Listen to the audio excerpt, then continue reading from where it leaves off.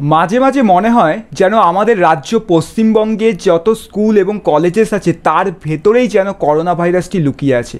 যেই মনে হয় সমস্ত কিছু স্বাভাবিক হলো, আবারও আগের মতোভাবে স্কুল, কলেজ, ইউনিভার্সিটি চলবে, ছেলেমেয়েরা অফলাইনে গিয়ে ক্লাসেস করবে, সমস্ত কিছু হবে, ঠিক তখনই হচ্ছে আমাদের কোভিড নাইন্টিন এসে উকি মার। নমস্কার বন্ধুরা welcome to youth career hub YouTube channel আমি তোমাদের সকলের হোস্ট ইন্দ্রনীল। বাংলায় ফের বাড়ছে কোভিড নাইন্টিনের কামড়।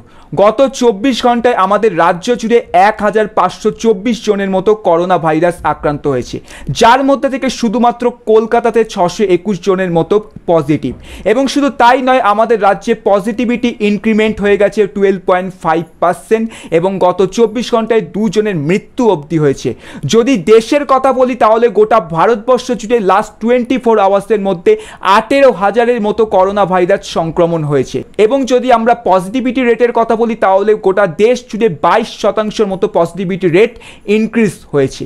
এমন অবস্থায় আবারও প্রশ্নের মুখে আমাদের দেশ এবং আমাদের রাজ্যের শিক্ষা পরিকাঠামো। আবারও জল্পনা হচ্ছে, বন্ধ হয়ে যেতে পারে রাজ্যের সমস্ত সরকারি, বেসরকারি স্কুল, কলেজ, ইউনিভার্সিটি। আবারও সমস্ত পঠন পাঠন অনলাইনের পথে এগিয়ে যেতে পারে।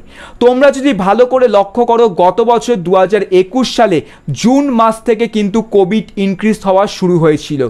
এবং ঠিক সেই সময় গোটা দেশ জুড়ে, গোটা রাজ্য জুড়ে কিন্তু তোমার সমস্ত কিছু বন্ধ হয়ে যায়। আমরা যদি দেখি দু হাজার কুড়ি দু হাজার একুশে কোনো পড়াশোনা হয়নি ছেলেমেয়েরা পরীক্ষা দিতে পারেনি পুরোটাই হচ্ছে অনলাইনে গেছিল। দু হাজার বাইশ সালে পড়াশোনা তো ঠিকমতো হবে, হয়নি। সমস্ত কিছু অনলাইনে হয়েছিল, কিন্তু পরীক্ষা দিতে হয়েছে স্টুডেন্টদেরকে অফলাইনে এখন যখন মনে করা হচ্ছে দু হাজার তেইশে এবার উচ্চ মাধ্যমিক পরীক্ষাটা ভালোভাবে হবে, মাধ্যমিক পরীক্ষাটা ভালোভাবে হবে, আবার সমস্ত স্কুল কলেজ খুলবে স্কুল কলেজে গিয়ে পড়াশোনা হবে, ঠিক সেই সময় তোমার হচ্ছে কোভিড নাইন্টিন ইনক্রিজ হচ্ছে। গত চব্বিশ ঘন্টায় আমাদের রাজ্য পশ্চিমবঙ্গ জুড়ে করোনা ভাইরাসের পজিটিভিটি রেট কিন্তু টুয়েলভ পয়েন্ট ফাইভ পার্সেন্ট বৃদ্ধি পেয়ে গেছে, যেটা এই মুহূর্তে অনেক বড় লেভেলের চিন্তার কারণ।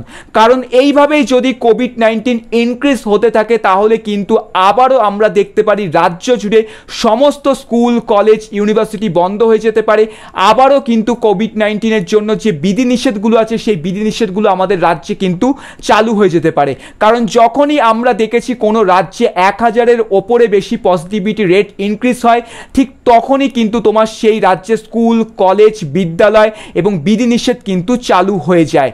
এবং আমাদের রাজ্যে অলরেডি চব্বিশ ঘন্টায় দেড় হাজার জনের মতো আক্রান্ত, যেখানে কলকাতায় ছশো একুশ জনের মতো আক্রান্ত positivity rate twelve point five percent কিন্তু বৃদ্ধি পেয়ে গেছে।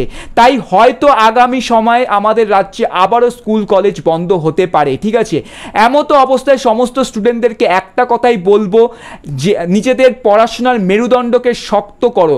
আগামী সময় উচ্চ মাধ্যমিক কীভাবে হোক বা না হোক, উচ্চ মাধ্যমিক অনলাইন না অফলাইন অফলাইন মাধ্যমিক কীভাবে হবে সেই সমস্ত চিন্তাভাবনা ভুলে যাও। এখন তোমাদের একটাই চিন্তাভাবনা থাকতে হবে, কীভাবে বছরের শেষের মধ্যে তোমরা তোমাদের সিলেবাসকে কমপ্লিট করতে পারবে। মনে রাখবে, সিলেবাস যদি তুমি কমপ্লিট করতে পারো, তাহলে তোমার সারা বছর অনলাইনে পড়ানোর পরও যদি তোমার অফলাইনে পরীক্ষা হয় দু হাজার তেইশ সালে, তারপরও কিন্তু তুমি তাতে ভালো ফলাফল করতে পারবে। তাই তোমাদের প্রত্যেককে বলব, এই মুহূর্তে হয়তো তোমরা ইউটিউবে অনেক প্রকারের ভিডিওস পাবে, দেখবে প্রতিনিয়ত যেখানে বলা হবে কোভিড ইনক্রিজ হচ্ছে কোভিড ইনক্রিজ হচ্ছে, এই স্কুল বন্ধ হলে ওই কলেজ বন্ধ হলো। এতে শুধু ভিউজ ইনক্রিজ হয় বাট আলটিমেটলি তোমাদের মানসিকতা কিন্তু দুর্বল হতে থাকে। কারণ তোমরা ভাবো, এই তো স্কুল বন্ধ হয়ে গেলে, পড়ে কি আর হবে, পড়ে কি হবে? বাট আমি তোমাকে বলব স্কুল বন্ধ হোক বা না বন্ধ পড়াশোনা সবাই চালিয়ে যাবে। সো এইটাই ছিল বেসিক্যালি আজকের এই ভিডিওর মাধ্যমে আমাদের কোভিডের একটা ছোট্ট আপডেট আগামী দিনে যদি স্কুল কলেজ ইউনিভার্সিটি কোনো কিছু বন্ধ হয়, তাহলে আমি তোমাদেরকে অবশ্যই জানিয়ে দেবো। নজর রাখতে আমাদের চ্যানেলটিকে সাবস্ক্রাইব করে পাশে থাকা বেল আইকনটিকে প্রেস করে আমাদের এই পরিবারের সদস্য হয়ে যাও।